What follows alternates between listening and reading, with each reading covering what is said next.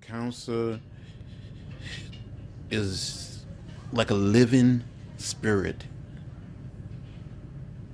It tells us not to forget.